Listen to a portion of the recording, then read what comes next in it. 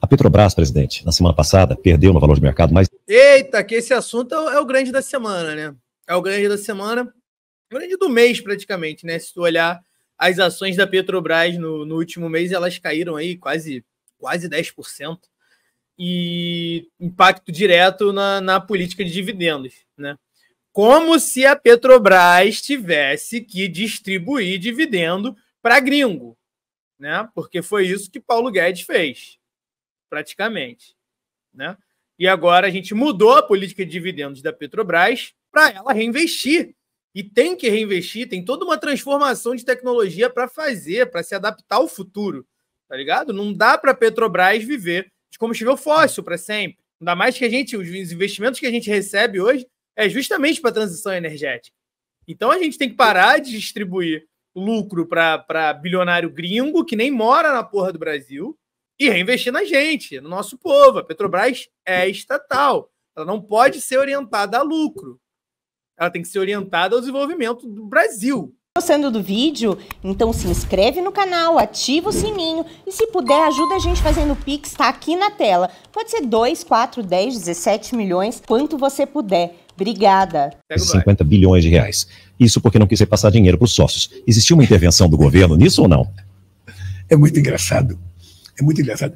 Às vezes eu vejo a notícia assim: Petrobras cresce a 30%, Petrobras bateu o recorde de produção de gasolina, Petrobras bateu o recorde de exportação de petróleo, Petrobras bateu o recorde de arrecadação. E a gente não ganha nada com isso. Uhum.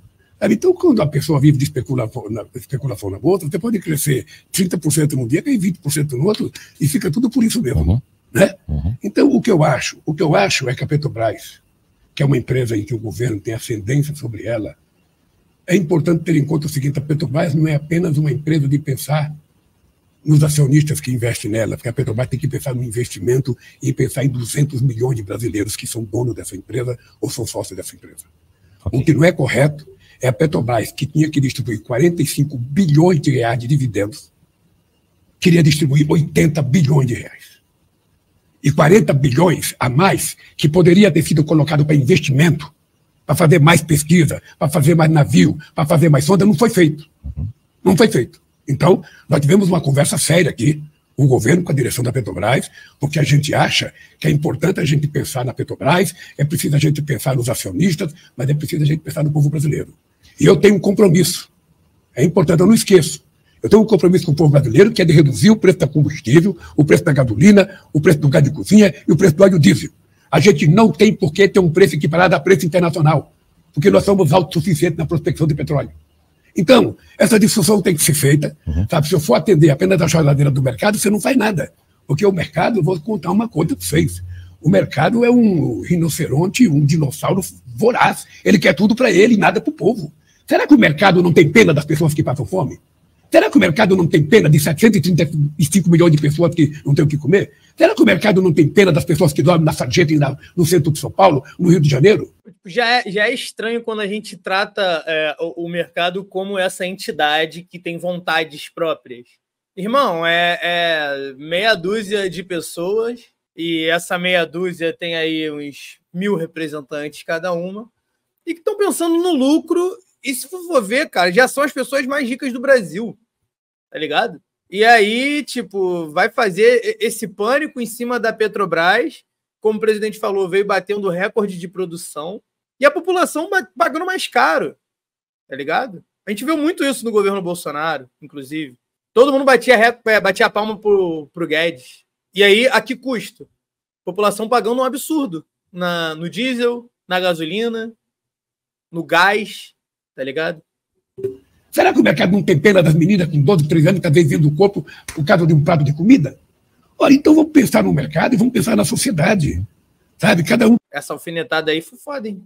Tem a sua parte, mas é importante que a gente saber que a minha preocupação é fazer com que o povo mais pobre, os mais humildes, sabe, possa ter uma chance, uma oportunidade de crescer nesse país.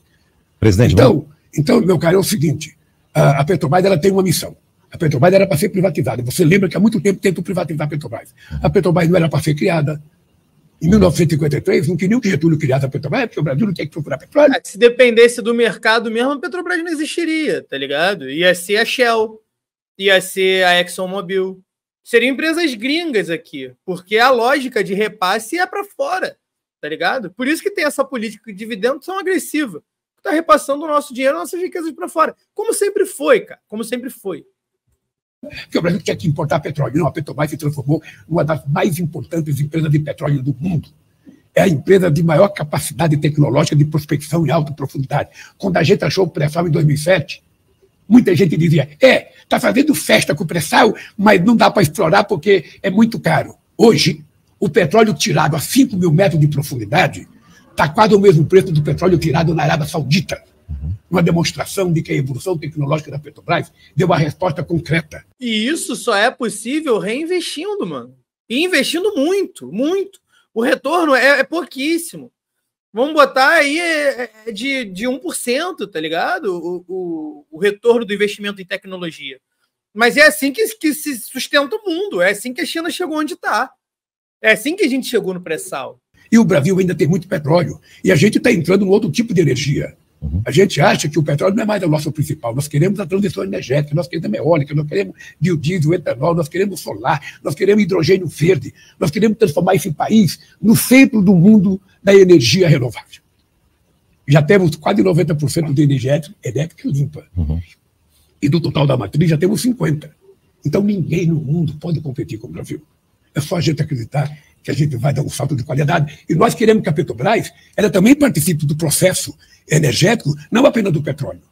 Porque ainda vai precisar durante muito tempo utilizar petróleo. Uhum. Mas nós, obviamente, que caminhamos para descarbonizar o planeta Terra, para que a gente possa. Eu quero viver 120 anos, tá certo? Eu também. Eu faço um. Todo dia eu peço a Deus, ó, me deixa aqui um pouquinho mais. Então, então eu quero um mundo sem poluição. 120 é muita coisa, cara o mundo que você quer. É. Como é que você vai estar bem assim, é. se você não tiver um mundo descarbonizado, o ar bom para você respirar, água boa para você beber? Esse mundo a gente pode construir e o Brasil, em se tratando de transição energética, o Brasil pode ser campeão.